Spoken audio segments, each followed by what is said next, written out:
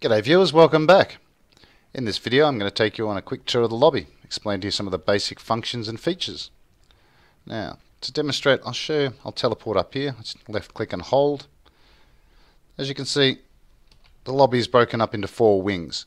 This is the start wing, the play wing, the make wing, and that's where some of the better content for Janus is kept. I'll just go back down there again. So here we are in the start area. This area contains all the basic information that you'll need to get Janus started, so you can understand what Janus is and how to use it. A tutorial, links to YouTube, etc. Okay, move forward now into the central lobby area. From the central lobby area you can access the games, advanced tools for helping make rooms or servers in Janus, and over there is where some of the better content is kept. In the central lobby area you'll see there is screens with information. You click on those.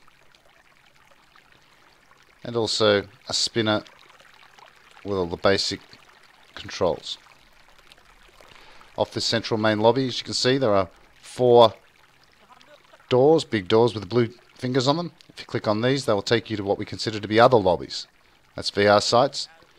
That's where anyone can make a room. You can start making today. It's a link to our special events area. That's where we'll be having special events. At the moment it's set up as a cinema. I think there's a Demi Lovato video in here. Hi guys.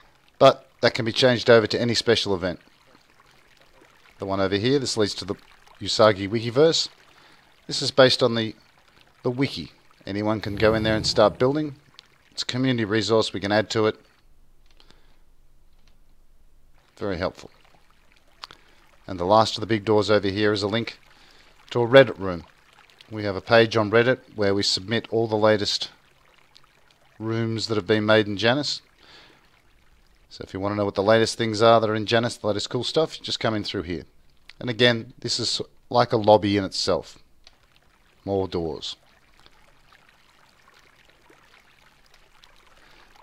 The Janus lobby is completely made by the community. It's a work in progress. Anyone can come and help to build. Anybody who makes any content that's good in Janus, there's a very good chance you'll end up off the main lobby of Janus. Let's go outside and show you the skybox. The skybox is London. The position for this lobby is above the monument to the Great Fire of London of 1666. So it's a skybox, you can just fly around and look at it. The purpose of this lobby is that it's a lot like a basic home page for a web browser.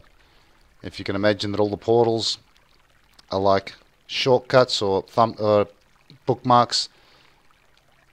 It's a list of helpful links that get you started in Janus. This lobby isn't Janus, it is just a collection of links in Janus. There is way more than this. Go for a walk over here and show you some of the other features. As you walk around the edges, you'll see there's some pictures up on the walls. These aren't clickable, they won't work as portals, but you can have a look at the web address, press tab, and type in the address, create a portal, and go there and have a look. The green doors at the top here, as you can see from the finger on them, they're also clickable portals. You can click them and find out what's behind them. One last thing to show you.